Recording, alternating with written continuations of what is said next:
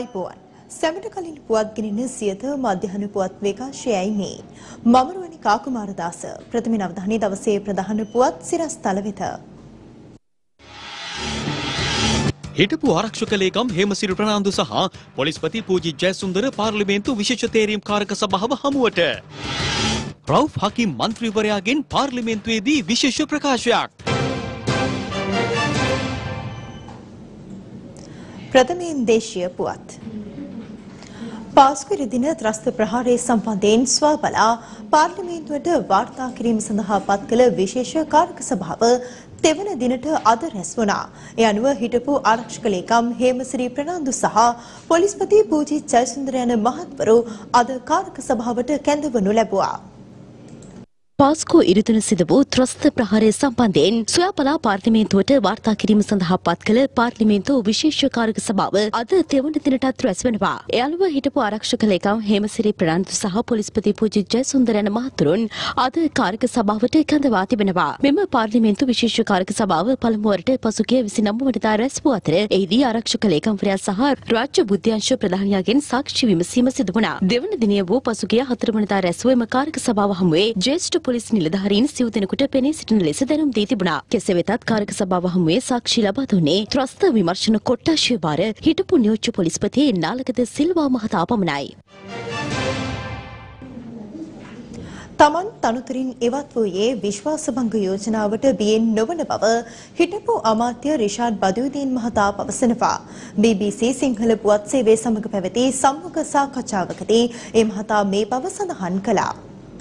අයි කළු ජූලියක් ඇති කරන්න පුළුවන් වැඩ පොළොවක් යොදවගෙන යනකොට තමයි පක්ෂ ભેදෙන් තොරව රවුෆකි මෙමතුමා කබීරසි මෙමතුමා හලි මෙමතුමා මගේ පක්ෂයෙන් නැමතුර ඔක්කොම එකතොර නමද නාමයේ ඉල්ලාස් වුණා. දේශපාලකයෝ සමහර අය තමයි මේ වගේ ප්‍රශ්නයක් ඇති කරන්නේ. සමහර දේශපාලකයෝ කොන්ත්‍රාතු කරගෙන තියෙනවා සමහර අන්තවාදී කල්ලිය. ඒ කොන්ත්‍රාතු අරගෙන ජනතාව අතර ભેදයක් ඇති කරන වැඩක් කරනවා. ඒ නිසා අපි මම කියන්න කැමති මම ඇතුළු මුස්ලිම් දේශපාලන නායකයෝ අපේ සමාජ සියලු දෙනාම අපි සූදානම් වෙලා ඉන්නවා. අයිය ISIS ත්‍රස්තවාදය ලංකාව ඇතුළ අපි තුරන් කරන්න උපරිම සහයෝගය දෙනවා කියලා පණිවිඩය මම කියන්න කැමතියි. ඕන එක්කෙනාට ඕන චෝදනාව එල්ල කරන්න පුළුවන්. එක චෝදනාවක් කරේ අද වෙනතුරු උසාවියට ගිහිල්ලා මට කිසිම උසාවියෙන් එන්න කියලා නැහැ මම ඔප්පුවෙලත් නැහැ මම වැරද්දක් කරා කියලා. අද වෙනතුරු මට ඒ වගේ එක නඩුවක් හරි නැහැ. විශ්වාසම යෝජනාවට අපි සූදානම් වෙලා හිටියා මුහුණ දෙන්න. ඒ චෝදනාව අසත්‍යයි කියලා ඒ ගෙනාපු අය දන්නවා. රට වෙනුවෙන් රටේ අනාගතය වෙනුවෙන් අපි අයින් වුණා අපේ අමාත්‍යදුරෙන් ඇර විශ්වාස විශ්වාසම යෝජනාවට බයට නෙමේ ඒක අයින් වුණේ.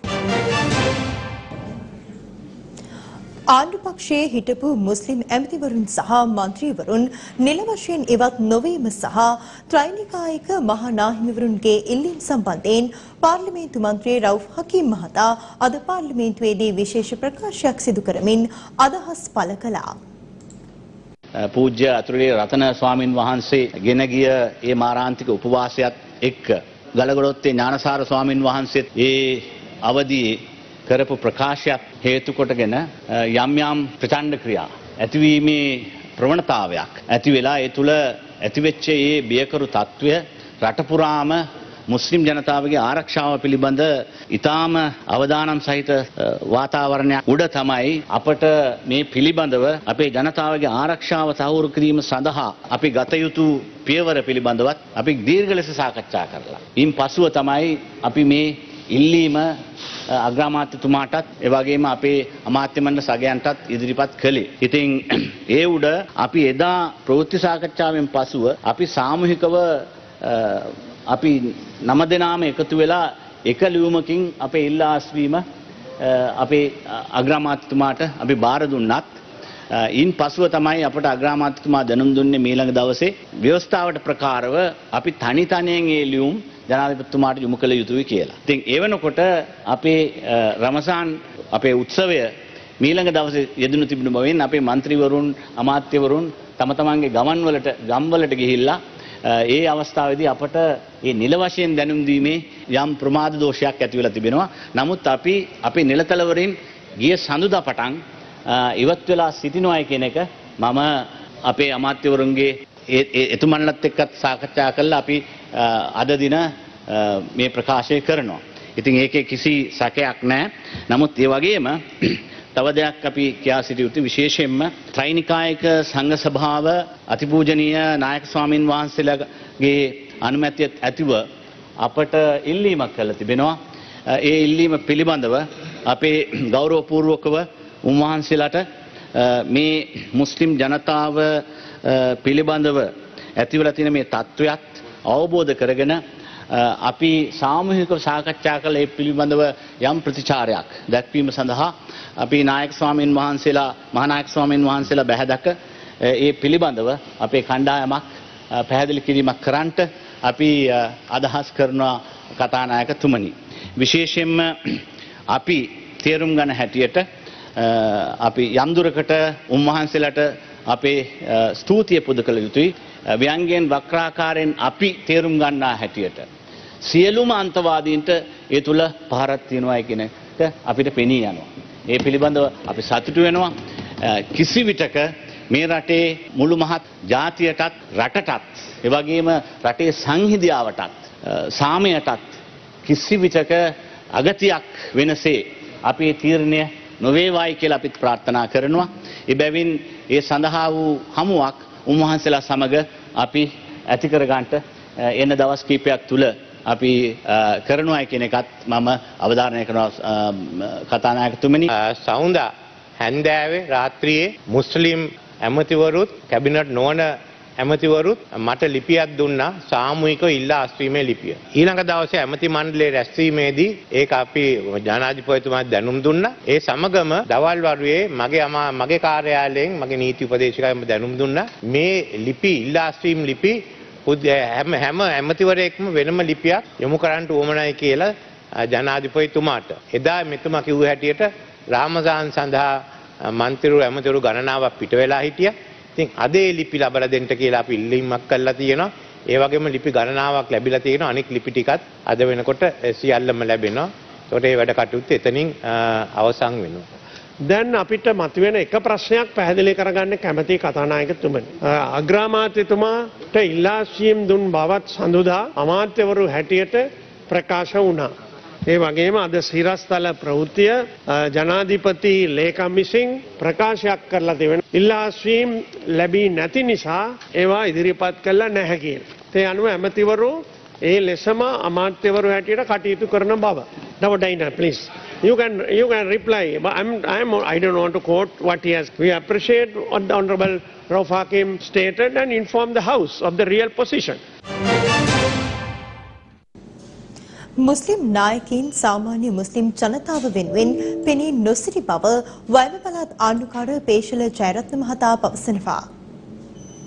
මේ මුස්ලිම් නායකයින්ට මේ වැඩේ කරන්න තිබුණේ අප්‍රේල් මාසයේ 22 වෙනිදා. අවසානම තැනට ඇවිල්ලා අවසාන තුරුම්පුවේ හැටියට තුරුම්පු ගහනට වඩා කලින්ම තමන්ගේ ජයග්‍රහණය සහ තමන්ගේ අවංකභාවය හෘදේ සාක්ෂියට එකඟව ප්‍රකාශ කරා නම් තමන්ගේ නිර්දෝෂීභාවය ඔප්පු කිරීම සඳහා මේක ඊටාම වැදගත්. ඒ නායකයින් ගත්ත තීන්දුව පිළිබඳව අපි සතුටු වෙනවා මේ රටේ තත්ත්වය තවත් බරපතල වෙන්න දෙන්නේ නැතුව. මම නම් චෝදනා කරනවා මුස්ලිම් නායකයින්ට ඒ අයට අවස්ථා කීපයක් තිබුණා මේක වළක්වා ගන්න. ඉතින් ඒ නිසා තමයි අද අහිංසක මුස්ලිම් ජනතාවට විශාල පීඩාවක් වෙලා තියෙන්නේ. ඒ පීඩාව ඇති කරේ මුස්ලිම් සමාජයේ ඉන්න නායකයෝම තමයි. එයාලා ඉදිරිපත් වුණා. එයාලා එක එක දේවල් කී කී හිටියානේ. කඩු අහු වෙනකොට කිව්වා තනකොළ කපන්න කියලා. ඊට පස්සේ ගෑනු ළමයින්ගේ ආරක්ෂාවට කිව්වා. මේ වගේ එක එක විකාර කතා කී කී හිටියා. අවසාන වෙලාවේ තමයි මේ ඉදිරිපත් වෙන්නේ. ඉතින් ඔය අවසානයේට කරන්න තිබ්බ එක ඉස්සෙල්ලාම කරා නම් මම හිතන්නේ මෙච්චර දේවල් වෙන්නේ නැහැ. මුස්ලිම් නායකයින් අහිංසක මුස්ලිම් ජනතාව වෙනුවෙන් පෙනී හිටියේ නැහැ.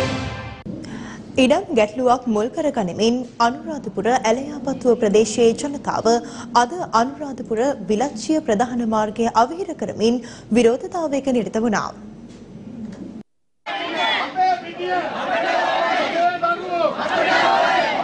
අනුරාධපුර ඇලයාපත්තුව කොක්කිච්චිය ප්‍රදේශයේ ජනතාව ද පෙරවරුවේ අනුරාධපුර විලච්චිය ප්‍රධාන මාර්ගය අවහිර කරමින් විරෝධතාවයක් ක්‍රියාත්මක කර තිබෙනවා.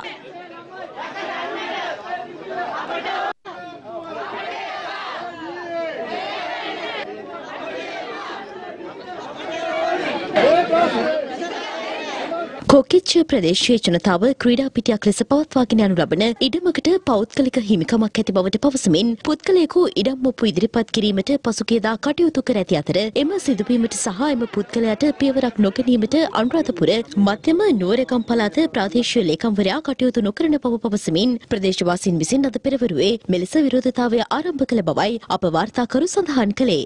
අපි අවුරුදු 45ක් විතර ක්‍රීඩා පිටියක් වශයෙන් මේක පවත්වාගෙන යනවා. ඒක දැන් AGA ඉඩම් කොමසාරිත් එකතු වෙලා වෙනම ඔප්පුවක් හදලා පුද්ගලික අය කෙනෙකුට පවර්ලා තියෙනවා. ඒකට විරුද්ධව තමයි අපි සාමකාමී උද්ඝෝෂණයක් කරන්නේ. මේක මහා ඝන කලාවක් තිබෙද්දී අපේ වැඩිහිටියන් තමයි මේක සුද්ධ පවිත්‍ර කරලා අපිට ලබා දුන්නේ. දැන්ට මගේ වයස අවුරුදු 53ක් වෙනවා. මම දන්න තාක් කාලෙක මේකේ කිසිම කෙනෙක් පදිංචි වෙලත් නැහැ සංවර්ධනය කළා. අපේ දරුවෝ තමයි මේක කරලා තියෙන්නේ. ඉතින් අපි කියන්නේ අපිට මේ ක්‍රීඩා පිටියේ අර ඔප්පුව හදලා තියෙන්නේ හොරට. අද සල්ලි වලට කරන්න බැරි දෙයක් නැහැ. මැරුණත් ගමේ සෙනග හතර පහ දෙනෙක් ඉඩමනන් දෙන්න විදිහක් නැතුව යනවා. ඉතින් අපි කියන්නේ රජයට ඉහළ නිලධාරීන්ට කියන්නේ මේ ඉඩම පොදු විධිමක් නිසා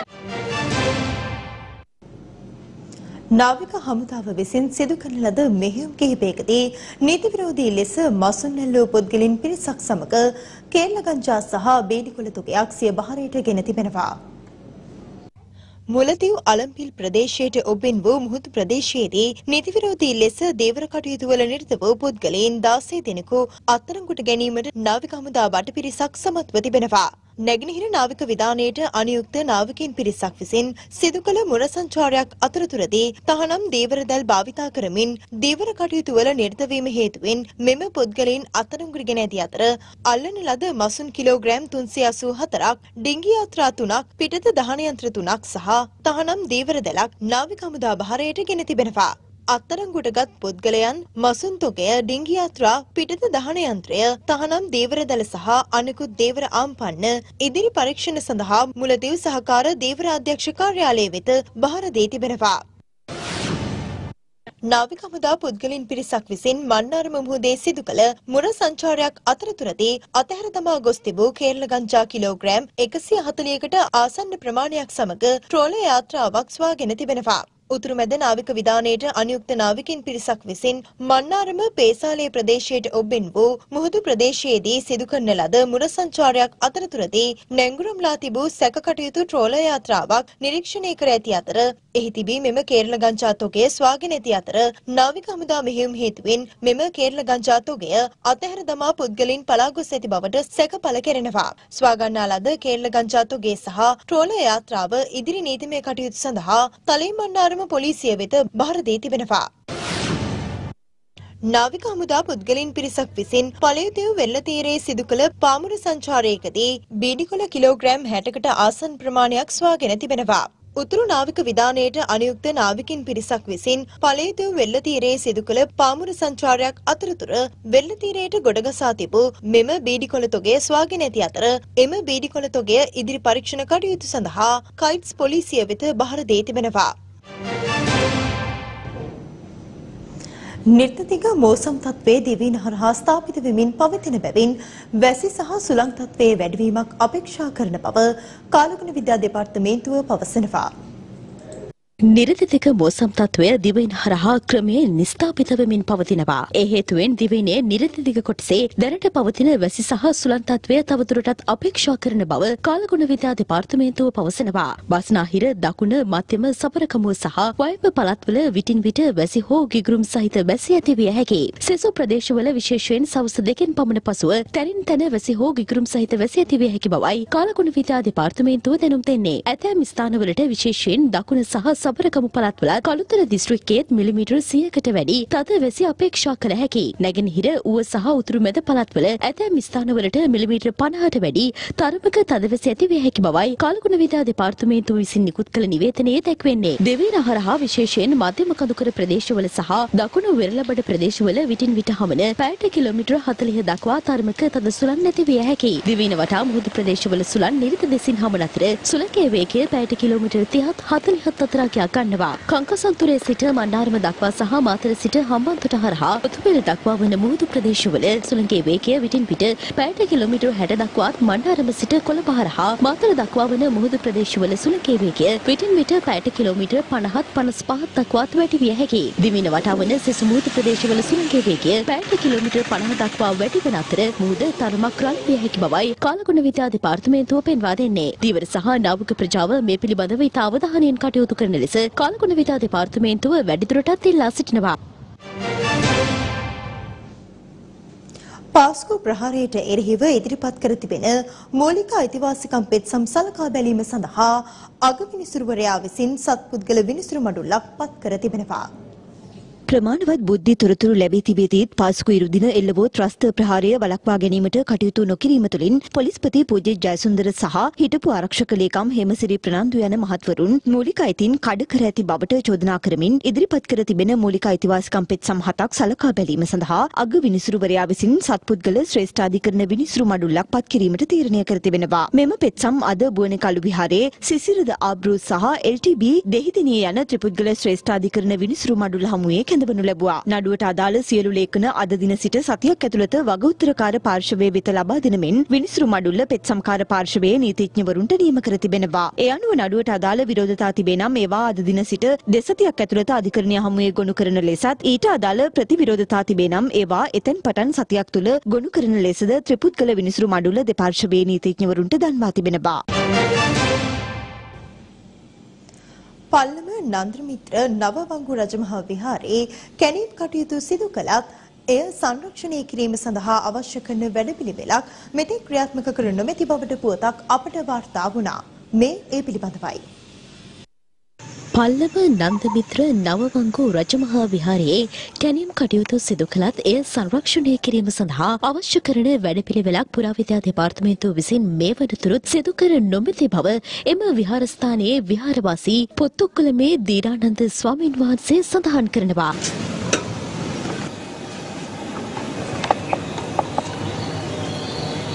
ක්‍රිස්තු පූර්ව එකසිය හැට හතත් එකසිය තිස් එකත් අතර කාලය තුළ දුටුගැමුණු රජදවස නන්දමිත්‍ර යෝධයා විසින් මෙම විහාරස්ථානය ඉදි කළ බවට අතීත කතාවල සඳහන් වෙනවා. මේ වන විට විවිධ ගල්කුණු නොසින්දන ජලපකුණු ඇතුළු පුරාවිද්‍යා වටනාකම් ඇති ස්ථාන තිස් හයක් මෙම විහාර භූමියෙන් සොයාගෙන තිබෙනවා. දෙදස් දාහත වර්ෂයේ මාර්තු මාසයේදී මෙම නන්දමිත්‍ර නවවංගු විහාරයේ කැනීම් කටයුතු ආරම්භ කර ඇති අතර එම වසරේ අගෝස්තු මාසය වන විට කැනීම් කටයුතු අවසන් කිරීමට පුරාවිද්‍යා නිලධාරීන් කටයුතු කර තිබෙනවා. කැනීම් කටයුතු ආරම්භ කිරීමට පෙර සංරක්ෂණය කටයුතු සඳහා මුදල් වෙන් කර නමුත් මෙම චෛත්‍ය සංරක්ෂණය සඳහා මෙවනතුරුත් කිසිදු පියවරක් ගෙන නොමැති බවයි විහාරවාසී ස්වාමින් වහන්සේ පවසන්නේ. මේ දිනවල පවතින අධික වර්ෂාවත් සමග අනාරක්ෂිතව පවතින චෛත්‍යයට හානි සිදුවමින් පවතින බවද උන්වහන්සේ පෙන්වා දෙනවා. කෙසේ වෙතත් පඬුවස්නුවර සහකාර පුරාවිද්‍යා කොමසාරිස් එන්.එම්. ගුණතිලක මහතාගෙන් අප කළ විමසීමකට අනුව ඔහු සඳහන් කර සිටියේ චෛත්‍ය ආරක්ෂා කිරීම සඳහා එහි සංරක්ෂණ කටයුතු කඩිනමින් ආරම්භ කිරීමට බලාපොරොත්තු වන බවයි.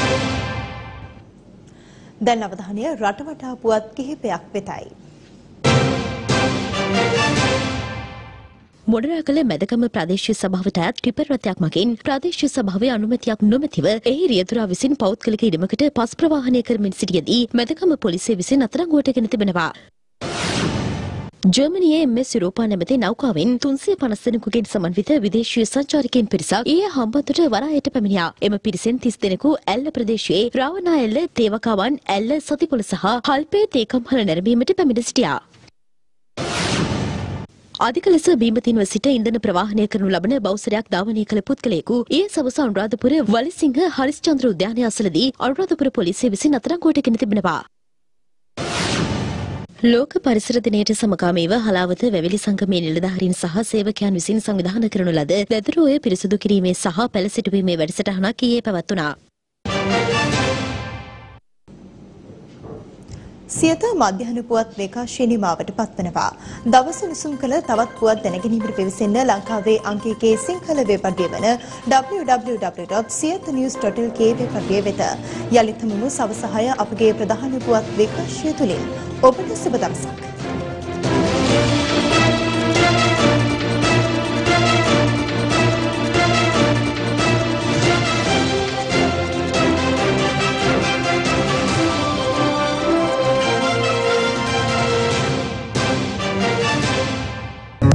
දෙනපතා අලුත් වීඩියෝ සහ ප්‍රවෘත්ති නැරඹීමට ඉහත බටන එක කලික් කර සියත TV සබස්ක්‍රයිබ් කරන්න.